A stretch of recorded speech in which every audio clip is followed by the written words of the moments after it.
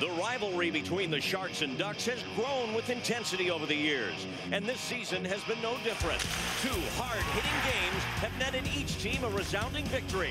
The Sharks' commanding lead in the standings may give San Jose an early season edge, but come playoff time, the Sharks and Ducks need to know who can truly claim supremacy in the Western Conference. Two teams who do not like each other that much take the ice with something to prove right now on Comcast Sportsnet.